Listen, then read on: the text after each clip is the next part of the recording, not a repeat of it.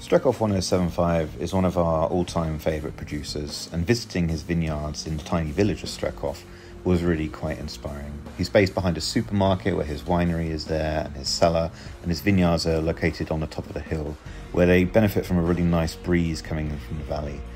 The biodynamic principles that Zsolt applies to his work is also quite impressive.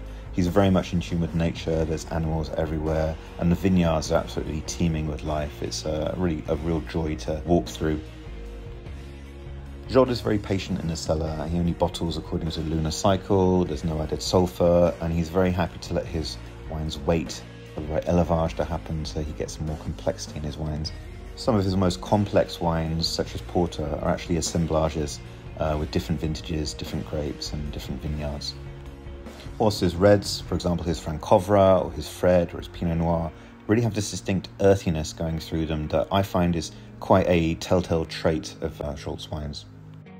Slovakia is not really at the forefront of the natural winemaking movement. However, Zsolt is really uh, a pioneer in the region, and a lot of producers from Eastern Europe look to him for guidance how to make their own wines. If you haven't tried them yet, I'd highly recommend it.